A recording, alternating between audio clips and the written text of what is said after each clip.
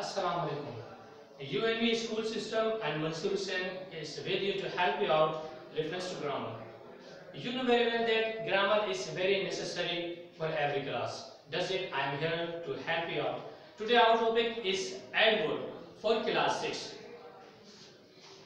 Adverb modifies the meaning of verb. Adverb करता क्या है वो वर्ब के मायनों में इजाफा करता है इजाफा किस मायने में जो काम हम करते हैं, जो एक्टिविटी हम करते हैं, जैसे हम नमाज़ पढ़ते हैं, कुरान पढ़ते हैं, हम कुछ खाते हैं, हम तेज दौड़ते हैं, हम आहिस्ता दौड़ते हैं, हमारा कोई भी काम करना वो वर्ब है। लेकिन फिर एडवर्ब क्या है? एडवर्ब वो काम है जो हमें इसका तरीका बताए कि जो काम हमने बेसिकली किया है, वो किस तरह परफॉर्म हो रहा है। जैसे कि हम इंग्लिश बोलते हैं। इंग्लिश बोलना वो वर्ब है, लेकिन हम कैसे इंग्लिश बोलते हैं? क्या हम अच्छी इंग्लिश बोलते हैं? क्या हम बुरी इंग्लिश बोलते हैं? क्या हम टूटी फूटी इंग्लिश बोलते हैं? क्या हम तेज इंग्लिश बोलते हैं? क्या हम आहिस्ता इंग्लिश बोलते हैं?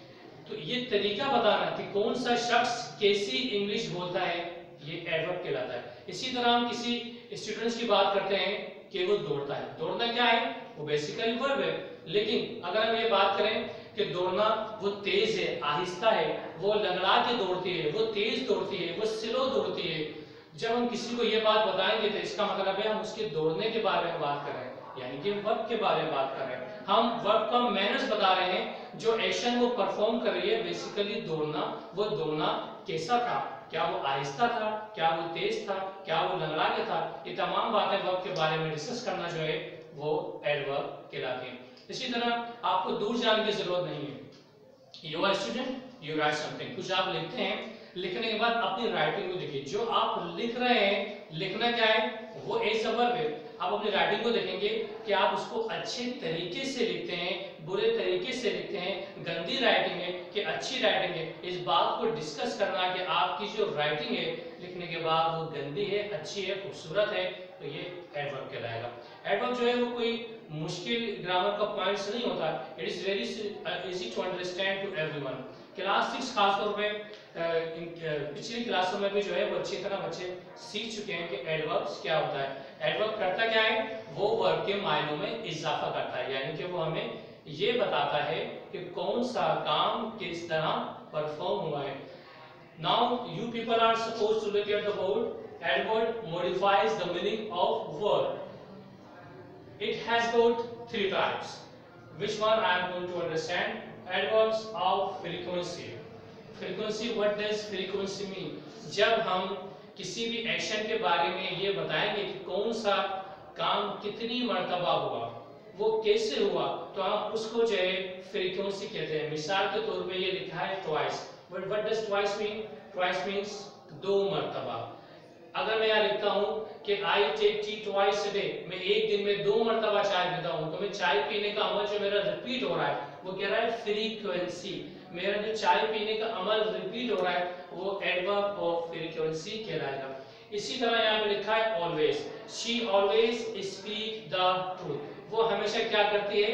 वो हमेशा सच बोलती है। अब उसके जो सच बोलने का अमल है, वो हमेशा से तो हमेशा से क्या है? हमेशा बार बार आज भी, कल भी, पहले भी और आने वाले दिनों में भी वो हमेशा है यानी कि ये क्या है? ये एडवर्ब ऑफ़ मैनर्स है इसी तरह समटाइम्स कभी कभार, वो कभी कभार मुझसे बात करती है, वो कभी कभार इंग्लिश बोलती है, वो कभी कभार क्लास में आती है, कभी कभार मुझे डांटती है तो कभी कभार क्या है? It is adverb of manners example किसी भी तरह की हो सकती है।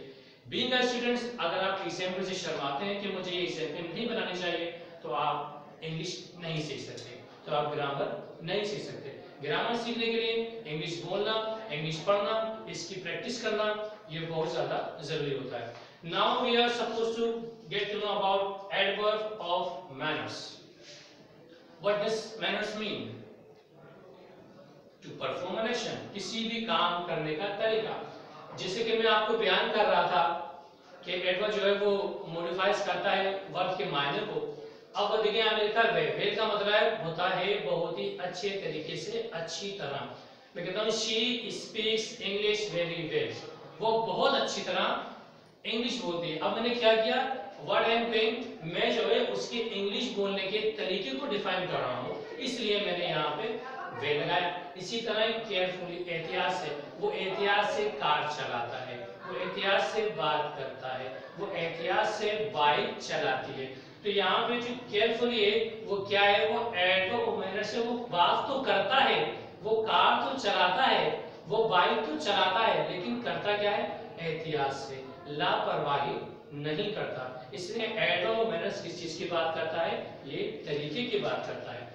Now come to another point slowly वो चलती है। चीज़ ओल्ड से दैट वो चलती है। चलना क्या है? वो एज अ वर्ब है। लेकिन हम उसके चलने के तरीके को डिस्कस कर रहे हैं। जब हम उसके चलने के तरीके को डिस्कस करेंगे तो वो क्या कहलाएगा? वो एडवर्ब कहलाएगा। वो एडवर्ब ऑफ़ मैनर्स हो गया। अगर वो तेज चल रही है, अगर वो तेज चल रही है तो हम क्या बयान कर रहे हैं? हम उसके तेज चलने के तरीके की बात कर तेज चलना तो वर्ब हो गया। चलना वर्ब है। लेकिन वो अगर तेज चलेगी, वो एडवर्ब है। स्लो चलेगी एडवर्ब है। लंगड़ा के चलेगी एडवर्ब है। स्टाइल मार के चलेगी एडवर्ब है। Clear very nice come to another point adverb of time Everything can be understood by the meaning of this. Time, you can the verb. कौन सा एडवर्ब कौन से वर्ब की बात करता है? नाउ अभी। She has just she has come now वो अभी आई है। मैं किस क्या बताना चाह रहा हूँ? मैं टाइम बताना चाह रहा हूँ। किसी ने मुझसे आके पूछा वो कब आई है? तो मैं क्या बता रहा हूँ? मैं उस चीज़ का उस शख्स के आने का टाइम बताऊँ। मैं आपसे कहता हूँ, मैंने अभी अभी चाय पी है। मेहमान हम बन के कहीं जाते हैं या हम किसी से पूछते हैं, आप चाय पियेंगे, आप खाना खाएँगे, क्या मैं आपको ये पेश करूँ? बहुत सारे लवाजमात के बारे में हम सवाल करते हैं। सवाल करने में जवाब होता है, अभी तो पी है, अभी तो पी कर आए हूँ। तो ये चीज़ें क्या है? जब बता रहा है, अभी, ये काम मैंने अभी किया है, कुछ देर पहले किया है। ये तमाम के तमाम जो है एडवर्ब ऑफ़ टाइम कहलाते हैं। इसलिए आप याद रखेंगे एडवर्ब सीखना कोई मुश्किल चीज़ नहीं लोगों को सीखते सीखते काफ़ी साल हो जाते हैं, लेकिन अगर समझाने वाला, पढ़ाने वाला सही हो और समझने वाले पूरे ध्यान के साथ इसको स्टडी करें तो सीखना कोई मुश्किल नहीं होता। इसी तरह टुडे आज। मेरी आज उससे बात हुई। आज मैं ये काम करूँगा। बेसिकली मैं क्या कह रहा हूँ? मैं वो टाइम ऑफ़ पीरियड जो है, सामने वाले को ग्रामीण को, सुनने वाले को स्पीकर को ये बता रहा हूँ कि आज मैं ये काम करूँगा। और आज मेरी उससे मुलाकात हुई। आज मैं, मैंने नौकरी हासिल की। आज मैंने नया मोबाइल खरीदा। आज मैंने ये काम परफॉर्म किया। बेसिकली मैं क्या बता रहा हूँ? बेसिकली मैं आपको उस एक्शन का टाइम बता रहा हूँ। ठीक है? Now you can see tomorrow tomorrow क्या है? ज़रा ये भी एडवर्ब ऑफ़ टाइम है। आने वाला कल। जब हम किसी एक्शन के बारे में, किसी काम के बारे में ये बताएँगे, वो काम मैं कल करूँगा। मुझसे प्रिंसिपल पूछते हैं मैडम पूछते हैं कि आपने वो काम किया? आई से वो काम मैं कल करूँगा, मुझसे सर पूछते हैं, मुझसे बोस पूछते हैं, आपने कोई एक्शन परफॉर्म किया?